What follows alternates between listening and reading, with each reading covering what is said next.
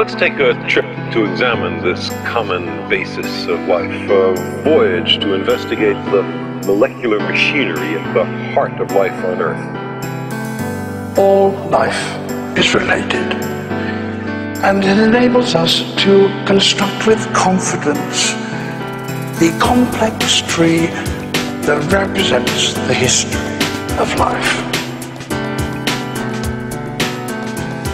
Our planet, the Earth, is, as far as we know, unique in the universe. It contains life.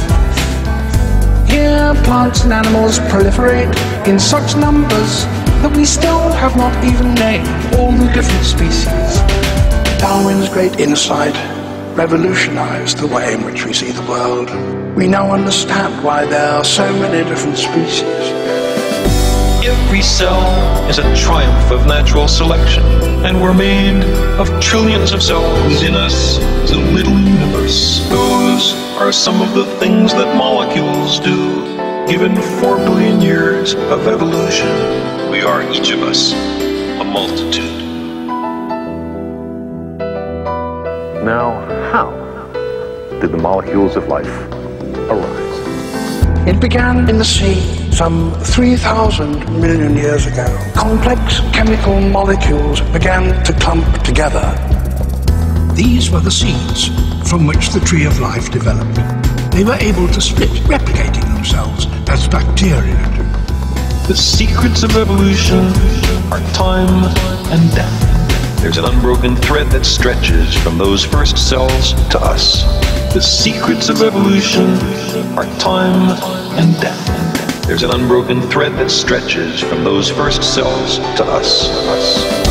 Every cell is a triumph of natural selection, and we're made of trillions of cells. In us is a little universe. Those are some of the things that molecules do. Given four billion years of evolution, we are each of us a multitude.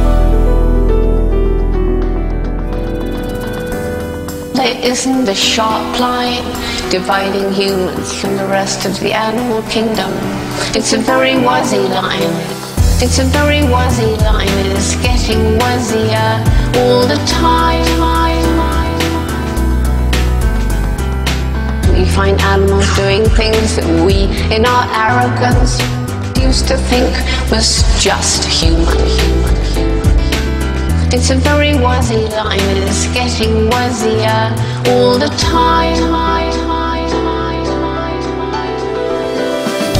Every cell is a triumph of natural selection, and we're made of trillions of cells. In us is a little universe. Those are some of the things that molecules do. Given four billion years of evolution, we are each of us a multitude. Every cell is a triumph of natural selection, and we're made of trillions of cells. In us is a little universe. Our planet, the Earth, is, as far as we know, unique in the universe. It contains life. Its continued survival now rests in our hands.